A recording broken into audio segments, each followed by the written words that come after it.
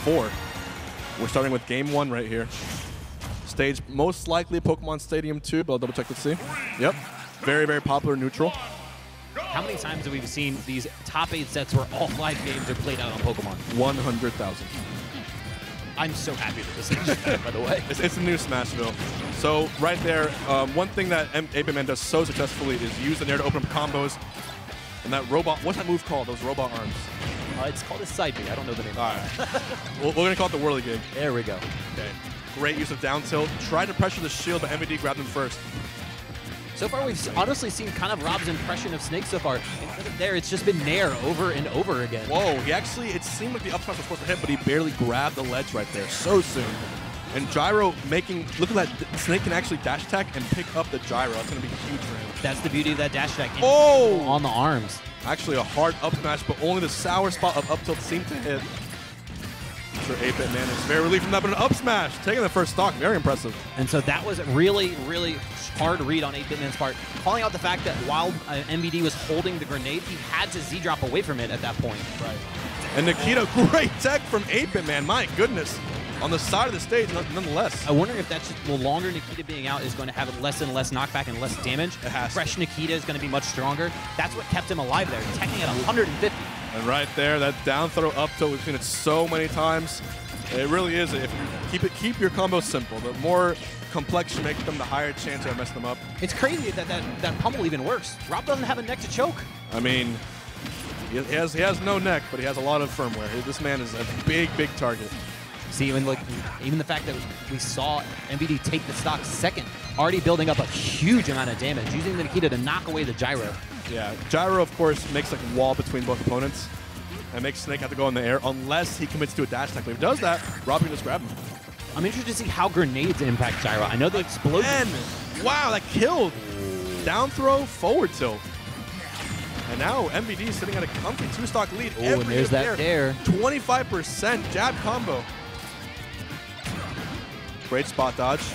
Oh man, so uh, I think right now that uh, 8-Bit Man is rushing it a little too hard. MVD is holding the stock lead with no problem. And this was our initial discussion. How does Oh. Rob get down?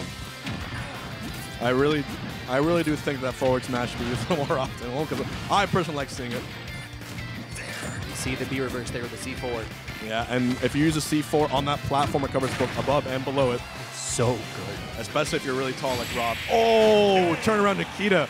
That's going to definitely kill dominating two stock from MVD to game one. That was really impressive. Dropping the Nikita below, waiting for the side B as the attempted either to knock out the hitbox of Nikita or just simply to reflect it, and MVD just using to circle back around and finish out that game. I, I think that the big issue right there was that 8-Bit Man was having trouble figuring out how to recover more efficiently. Thinking right now the stage to go to. Do you want to run it back Pokemon Stadium? Or are going to go to somewhere a little more risque? It's going to be really difficult. You know, Rob, obviously, with the much older operating system, Otacon keeping Snake up to date the entire time. Let's see how that firmware comes into play. Okay, going to Lylat Cruise, which is, uh, I mean, it's good for Rob, but I mean, famously, MVD has had a love affair with Lylat Cruise. Loves this stage, thinks it's beautiful and perfect in every single way. It's going to be a battle of stage control for sure. Both of these players pretty comfortable just sitting in the corner and setting up their own set play. So who's able to really control that most will make a huge difference. Oh, hello. Whoa! this this is a throwback too. I mean, Diddy Kong on this stage was super good in Smash 4, but he's taking 41 to start with.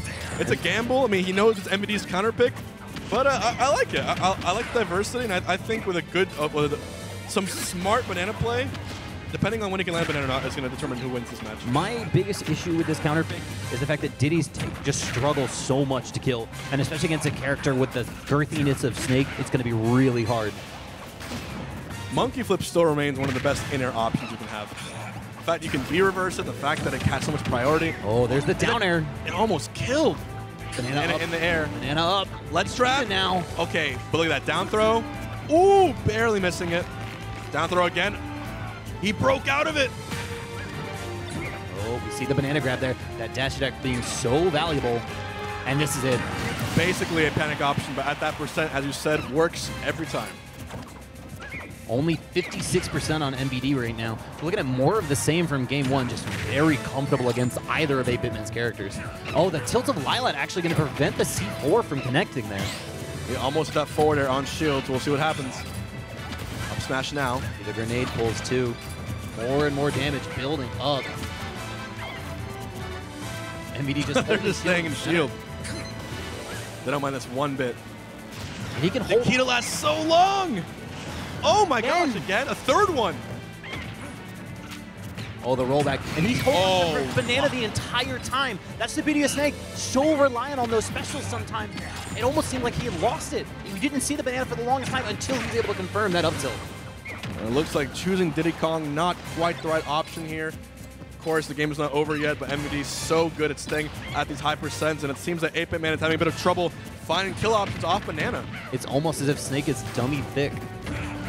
All right, down smash again. This might be a three-star. Oh, that was this close. See the down throw. Down. Oh, Oh, oh my God, the step back to avoid All right. the get up attack. 8-Bit Man doing a bit of a pog champ face right there. Looking stunned as MVD ranks up a 2-0 lead. The beauty of this, if Brett were to, or if it were, 8-Bitman were to fall to MVD, MVD obviously rent is due. He's inside his mind right now. living free. All right, 8-Bit Man definitely gonna go back to Rob. The question is, when you're down 2-0, do you take a risk on the stage? Go somewhere small? Do they want to dance? I just want to see them on Yoshi's Island. I want to see these two I- I- separate Yo- characters Yoshi's Island is like cut the stage in half. high key my favorite stage. This one is my least favorite stage, but that's okay. I'm not on this one, Stanley. So now we're waiting. We're going to see a huge amount of space for either player to really try to establish their neutral game. And of course, back to the back to the Rob. The Diddy was not the answer. Diddy definitely did not work in his favor. And we haven't seen too much of 8-Bit Man using the, the, the whirly gig, the arms. Yeah, it's, so there's actually a lot of combos that'll lead into it, but unfortunately with the frame one pull of grenade really intercepting a lot of those, it's Oh. going to be really difficult to connect it. The- He may still be able to connect it when he uses the uppy, but it's such a high committal option and drops him like a stone. Grenade's so useful for not only starting combos, but also breaking yourself out of combos. Back throw into the up tilt, 32%. Good lord. And once again, we see the item being taken away there. This is a player off, across multiple games, MVD super, super capable of item play of his own. So he has his grenades, but when he takes the banana and when he takes the gyro, he really shuts down his neutrals. Forward throw to gyro. but air dodging onto the ledge might have been a whiff right there, or a quick option to land on the ledge. Sometimes If he you managed to get the trump there, that would have been the biggest brain play possible. trump the back air would have been actually amazing. What? The Nikita lasting so long. I thought it was going to fall to gravity, but he actually curved it upwards, delaying the fall of it a little more. Oh, goes for the high up air. That would have been able to close it out, but MVD avoids it, gets all three hits of jab, and pushes 8-Bitman off stage again. This has been a dominant performance. This is someone that wants the run back versus Salem. He wants it very badly. Taking advantage right now of Kalos' two side platforms. Uh-oh, a watch lot of room for Snake out. to run around and play. Great air dodge to step back into the ledge at 123. And little by little, it looks like 8-Bit Man almost a kill percent. No way. I think one more might kill him. Uh-oh, he's going high. Will he land it? Circle. Oh, just missed. Is he going to go for it oh again? Oh my Here we go. Whoa! Oh, into the corner. Jesse! Oh. Jesse!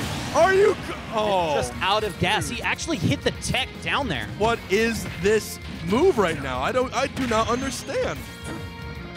We're waiting once again. The forward smash now landing. It looks like the set is all but over as MVD blows himself up.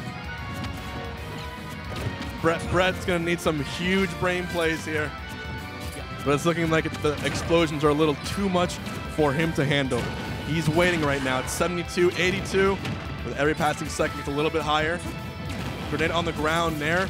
He's trying to get something started. This does not look like a passing of the torch moment like we've seen so many times in their earlier sets of four. This looks like MVD at his peak right now. He's, his reactions are so quick, and just his predictions with Nikita have really been extremely on point. Tried to use a first hit of forwards up there to get a grab started, but not quite yet. Grenade on the ground, all options covered. Let's see where he goes. Drops the C4. Drops it again.